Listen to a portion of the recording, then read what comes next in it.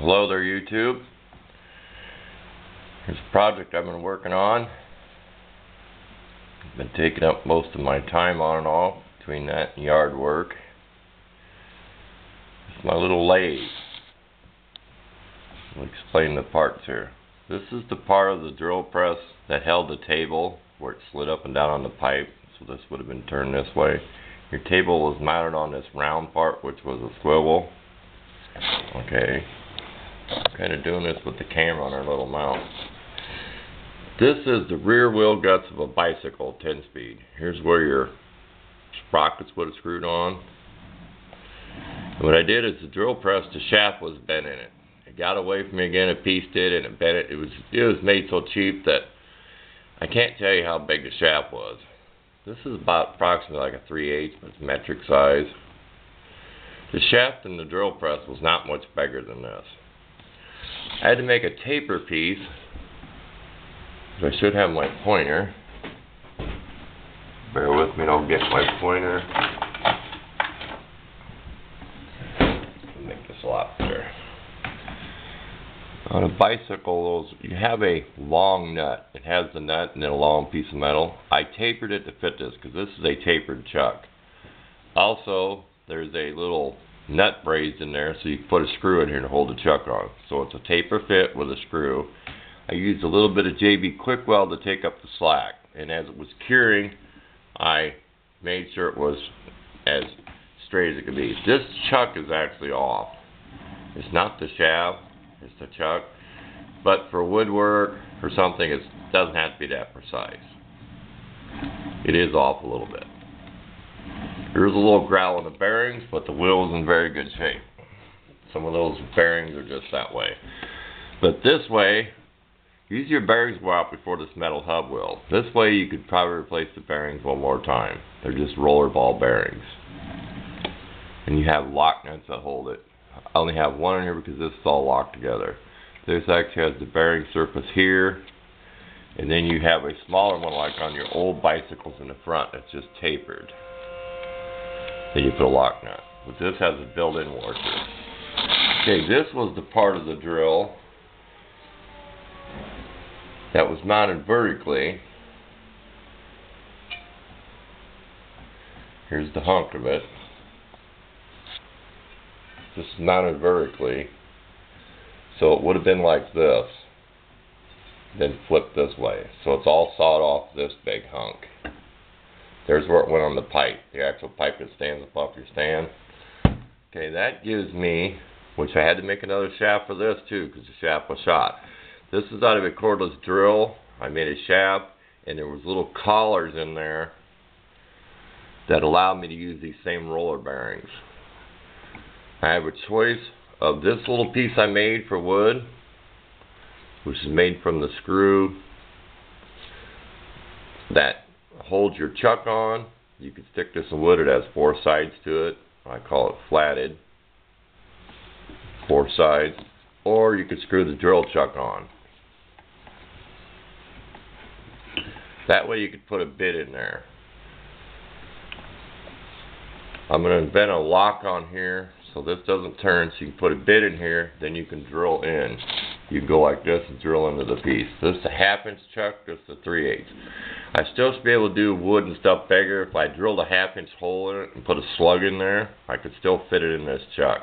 Because it doesn't have jaws like a regular lathe. We have this piece that goes in and out. I shortened these handles. So this would allow you to drill, or when you put a piece in a chuck, when it goes in here, which fits about an inch depth, you can bring this forward and lock the piece in the little lathe. And this lock nut right here, I plan on manufacturing something for this handle. Get the camera over here. So it only has to go so far to lock. This is a nice chrome handle off something. So you can have a handle to lock this in place. Also down in here there's four nuts and bolts. The nuts are welded to the metal. This is like a T-channel. Some of this I cut off underneath because of width, this width. I cut about half it off. So it has a cradle. You can't pull off there. So this is a piece of half inch mild steel which I smoothed down with my sander, flappy disc. So it slides on here pretty good. So this slides where you want it. And then you can adjust these bolts.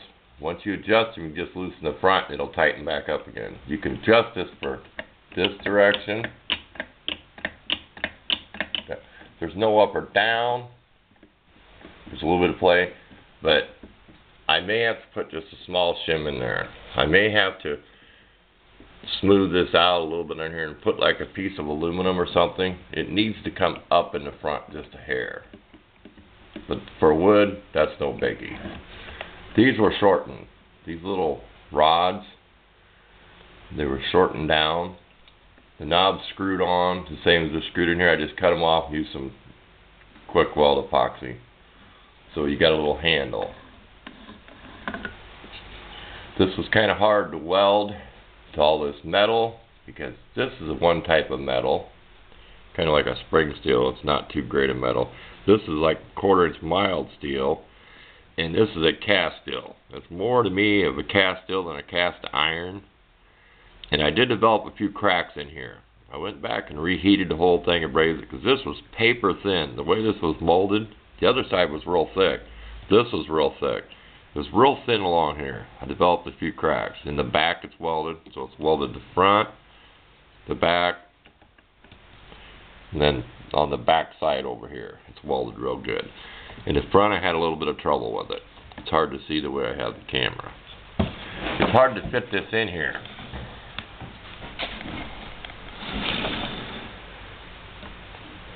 Get the idea.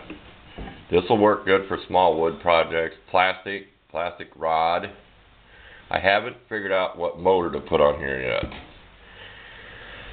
I have had the cordless drill on here. It will spin it fairly decent. I have had my big drill on here. I have a big, it's a monstrous, it's not a drill driver, it's just a regular drill with a clutch. It's not your impact type drill. It's a Black & Decker. It is a monstrous 6 amp drill, variable speed. It will run this thing to tear in anything. You you would not stall with a piece of wood with that. I'm thinking about making a bracket for it because I usually use my cordless drill for small stuff. It's a shame that the chuck is that way. That's the way they make cheap stuff. Maybe I can come across another one. But that is the actual chuck, not the shaft. And plus this turns too, because you have the bearings in here. It's a little noisy. But I'm going to invent a way to put a brake on this. Some way I can stop this. There's a little bit of shaft sticking out at the back here. I'm turning, turning back here. I'll make a little brake. Something with a set screw. Something that comes over to stop this so I can drill into something. Because your bit will be opposite of a drill. Your bit will be stopped on a lathe. And then your tailstock, you always bring it up and drill a hole in. There's a little bit of play in here. This isn't screwed on all the way.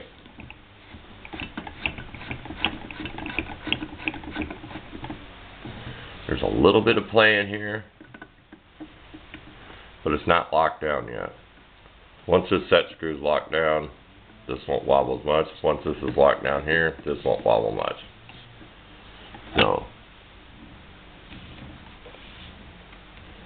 it's alright for wood. Wood and small projects. I have some walnut wood. If I could cut it down, I can make some nice stuff. This does not have a whole lot of reach. Even though this bar is two foot, you end up with not quite, it's under 10 inch reach. The time you have a piece here, depends on if you use this or not, you can get about a 10 inch piece in here. That's about it. I think it's more 9 something. I will be working mostly with small 6 inch, maybe 7 inch piece. This is that stock I have, 1 inch by 2 inch, which it's not machined, I had to do a lot of smoothing on here. I also put punch marks to center. There's also a scratch mark in here with my scratch. I should be using my pointer, my carbide tip.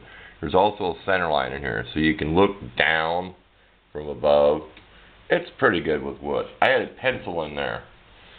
I put a pencil in there and spun this last night. But had to redo this. The idea I had before didn't work. That's what's been taking me so long. The idea I had was use different type bearings. It did not work.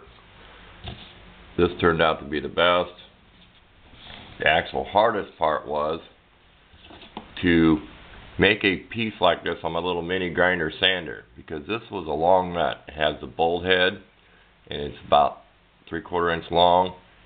And if I had the old part, I could show you. It's just tapered because this is a tapered chuck. And then it has a screw that holds it in. I'm sure I already said that.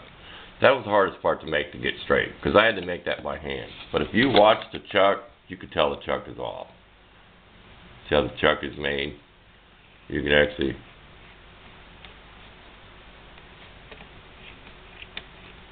cheapy, cheapy made. It's actually you can see how the chuck goes all over.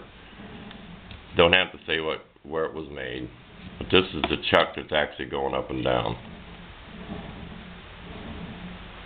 And when you get a little off here, the longer you get, the more it's off. That's just the way it is. If something's off a little bit in the back, it's going to be off a long ways, way out there, just like a lever. But the shaft is straight. The shaft, the bolt, the piece I made is pretty straight. You look back and that's pretty straight. You look at this part of the chuck made here, slow off.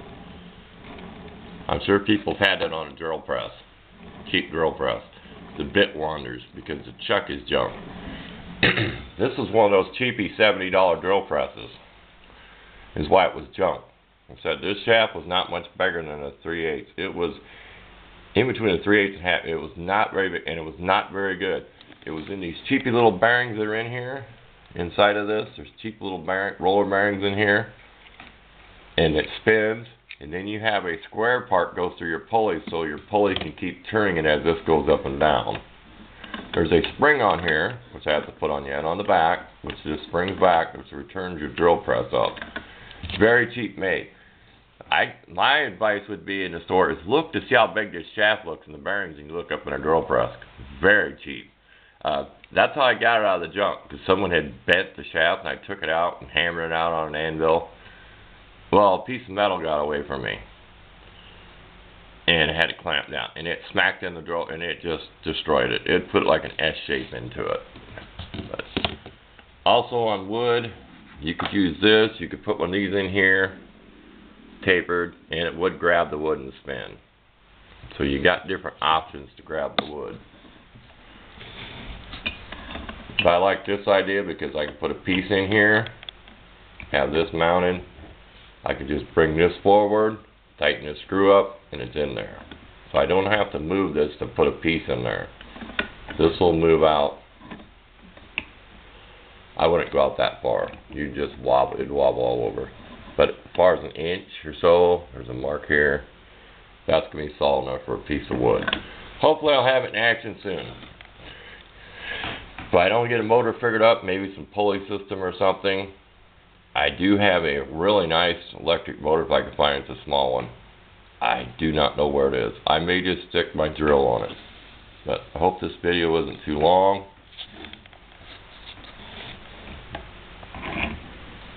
Get back and get a view of the whole thing.